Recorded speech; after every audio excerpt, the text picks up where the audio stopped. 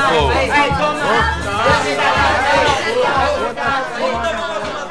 É, meu irmão, vou tomar a saideira. Bota uma saideira aqui.